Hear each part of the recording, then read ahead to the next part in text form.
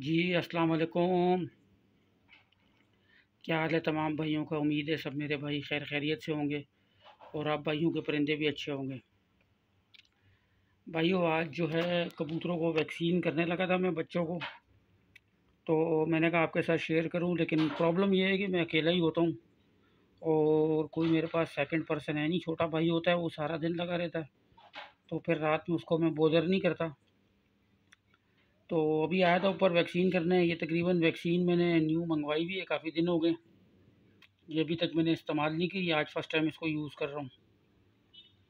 ये आप देख लें, न्यू कैविक यही मैं पहले भी कर रहा था, और इसका बहुत अच्छा रिज़ल्ट है।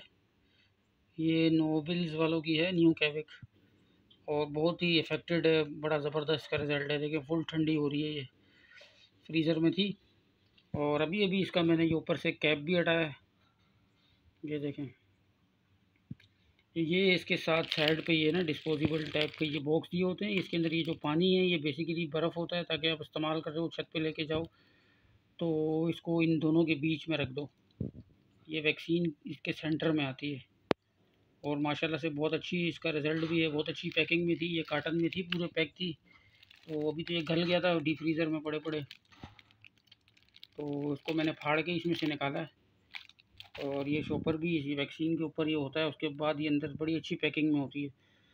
तो ये वैक्सीन अब करने लगा था तो मैंने कहा चलो आप भाइयों के साथ जो है थोड़ी सी ये इन्फॉर्मेशन शेयर कर दूँ।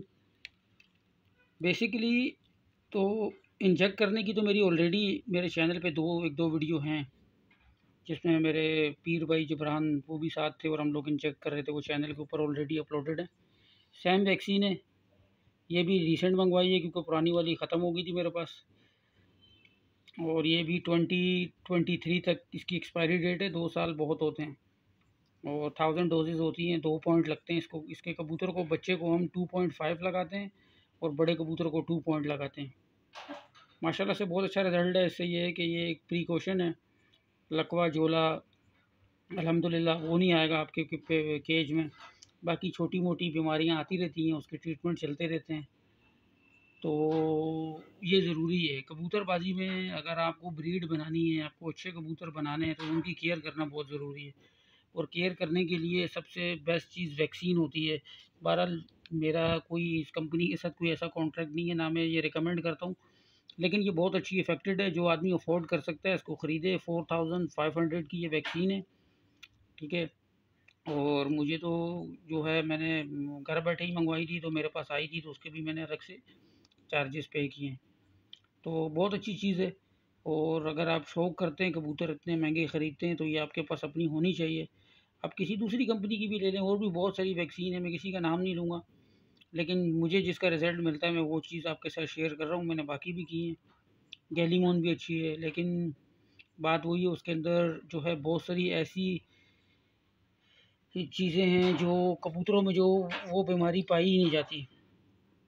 वो मुर्गियों के लिए स्पेसिफिक है। ये भी बेसिकली होती है मुर्गियों के लिए। ये ये पोल्ट्री वाले ज़्यादा यूज़ करते हैं। ये आप देख लें, इसको गूगल कर लें, इसकी इन्फॉर्मेशन वगैरह सब आपको वहाँ मिल जाएगी। लेकिन अल्हम्दुलिल्लाह ये बहुत ही ज़बरदस्त वैक्सीन है। बहुत ही अच्छी। कराची में इस वक्त जो टॉप की छतें उड़ा रहे हैं, जो टॉप के उस्ताद हैं सभी यही यूज़ करते हैं।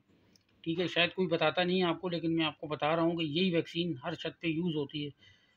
ठीक है? उसके अलावा दूसरी चीज़, अब ये मेरे पास गन नहीं है, गन भी थी मेरे पास अपनी, वो ख़राब हो गई तो इसके लिए फिर मैंने ये स्पेशल सरेंज ली है। अच्छा गन में भी प्रॉब्लम ये होती है कि एक ही गन बार बार यूज़ करनी पड़ती है तो फिर बेसिकली तो मैं करता नहीं हूँ, अपने बर्ड्स को ही करता हूँ, लोग तो चार्जेस लेते हैं, दूसरों के परिंदों को भी करते हैं।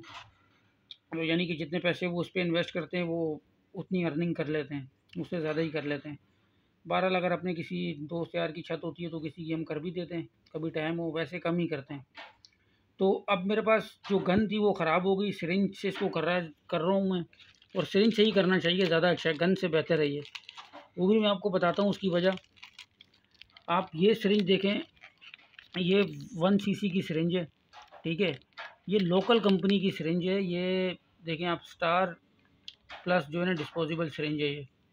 ठीक है, वन एम की है ये, one C C one M के हैं। इसके दो पॉइंट कबूतर को लगने और टू पॉइंट फाइव पॉइंट यानी कि ढाई पॉइंट जो है ना बच्चे को हम लगाते हैं इसके। क्योंकि बच्चों का इम्यूनिटी सिस्टम ज़्यादा वीक होता है। एज़ कंपेयर टू जो है एल्डर बर्ड्स तो इसलिए हम उनको जो है ना समझें कि थोड़ी ज़्यादा लगाते हैं। और अल्हम्दुलिल्लाह, इसके बाद ये है कि आपके कबूतरों को लकवा झोला कुछ ऐसा नहीं आएगा। छोटी मोटी डिज़ीज़ होंगी, वो आपको ट्रीटमेंट करते ही रहना है। और वो भी चीज़ें मैं शेयर करता रहता हूँ ग्रुप में। और अभी मैं आया था ऊपर तो मैंने कहा, चलो ये मैं करने लगा हूँ। करते हुए तो मैं आपको साथ शेयर नहीं कर सकता, इसलिए मैं पहले ही आपको उसके बारे में जो मुझे थोड़ी बहुत इन्फॉर्मेशन थी, वो भी आपके साथ शेयर कर रहा हूँ और बता रहा हूँ। और ये सिरिंज की जो क्वालिटी है ना, इसकी ये निडल जो है ना, ये निडल आप देख रहे हैं, ये इसकी मूवेबल है। अच्छा जो इम्पोर्टेड वाली आती हैं, उनकी ये मूवेबल नहीं है, ये हटती नहीं है, ये इसकी निडल निकल जाती है।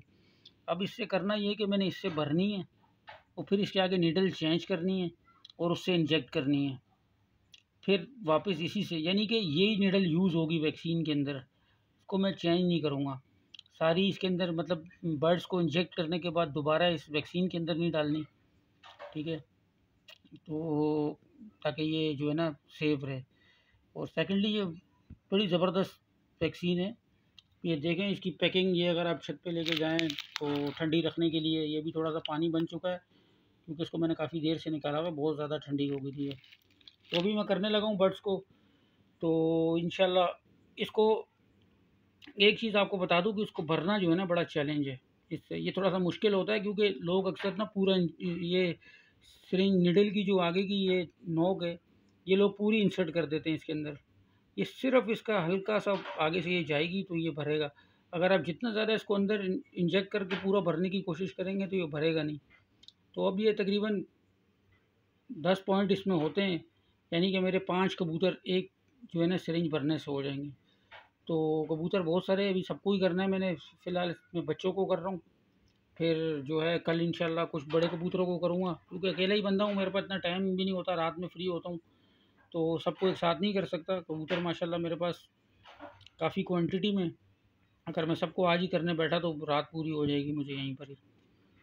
तो भाइयों, ये बस आपसे शेयर कर रहा था मैं, ठीक है? तो दुआओं में याद रखें, चैनल को सब्सक्राइब करें, शेयर करें, वीडियोस को लाइक करें, कमेंट्स करें। भाइयों के कमेंट्स आ रहे होते हैं कि भाई, मैं जो है बात करता हूँ, लेकिन बताता नहीं हूँ। कल भी मैंने एक दो कमेंट्स पढ़े थे भाई के। लेकिन बात दरअसल ये है कि जब आपके व्यूज़ ज़्यादा हों, लाइक ना हो, कमेंट ना हो, बेसिकली जब तक आप किसी चीज़ को इनक्रेज नहीं करोगे मोटिवेट नहीं करोगे तो अगला बंदा भी मोटिवेट नहीं होता। बहरहाल मुझे अगर रिस्पॉन्स अच्छा मिलेगा तो फिर ही काम करने में भी मज़ा आता है बंदे को। ठीक है ना? आपके साथ ये चीज़ें शेयर करने में हमारी कोशिश तो शौक़ को प्रमोट करना ही है एंड ऑफ़ द डे हमें इससे कोई लालच नहीं है, कोई सरोकार नहीं है। और जैसे टाइम मिलता है, जो मिलता है फेसबुक के पेज के थ्रू भी व्हाट्सअप में भी, हर तरीके से मैं मैसेंजर्स पे इतने मैसेजेस आए होते हैं, लेकिन मेरी कोशिश होती है कि हर किसी को जवाब दे दूँ। देर हो जाती है, लेकिन दे देता हूँ जवाब। तो भाइयों, इंशाल्लाह दुआओं में याद रखो और जो है अपनी भी हिफाजत करें। कोविड की सिचुएशन दोबारा से कराची में लॉकडाउन लग चुका हुआ है। तो ख्याल करें अपनी भी सेहत का, अपने बच्चों की, अपनी फैमिली की, अपने बर्ड्स की भी। इन फिर मुलाकात होती है किसी और वीडियो में। अपना ख्याल रखिएगा। अल्लाह हाफ़